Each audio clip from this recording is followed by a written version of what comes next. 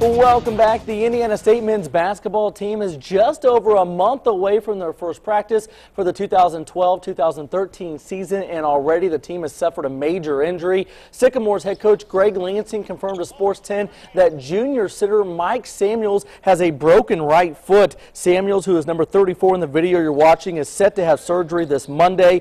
Coach Lansing said Big Mike, as he is nicknamed, is out indefinitely. The earliest the ISU center is expected to be back is after Christmas. Samuels suffered the injury in the Sycamore second exhibition game during their trip to the Bahamas back in August. It was originally thought to be just an ankle injury, but the pain never went away for the ISU center. Lansing said they were expecting big things from the 6'11", 285-pound junior college transfer from Wabash Valley College.